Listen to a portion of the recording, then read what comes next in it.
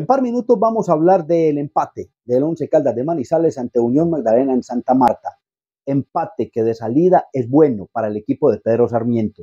Bueno por el rival que se tenía. Bueno porque se mantiene la diferencia en la tabla de la permanencia. Y bueno porque con ese punto se mantiene en carrera y se mantiene pensando en que existe la posibilidad de clasificarse a los ocho. Ahora, en el juego, el Once Caldas está más dedicado últimamente a pelear los partidos que a jugarlos a luchar, a trancar, a cortar, a meterse en el juego, que muchos, en muchos casos, como en este específico de la Unión Magdalena, necesitaba la Unión en algún momento que era cortar el partido, no permitir que se ilvanara juego, no permitir que hubiera continuidad en el juego. Ah, entre otras cosas, este árbitro Andrés Rojas es el árbitro más antijuego de la liga.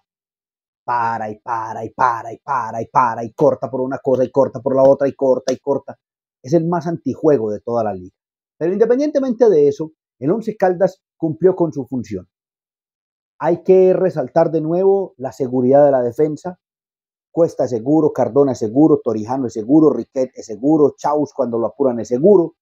Hay un problema de filtro en la mitad y todo pareciera indicar que quienes eh, han dicho durante mucho tiempo que Pérez y Montaño no son volantes de recuperación van teniendo la razón porque se van mucho al ataque y porque pierden con continuidad la espalda.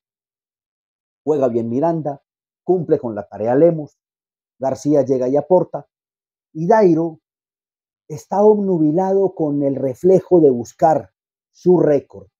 Y eso lo hace atropellarse, eso lo hace notarse ansioso, eso lo hace eh, perder seguridad de juego colectivo.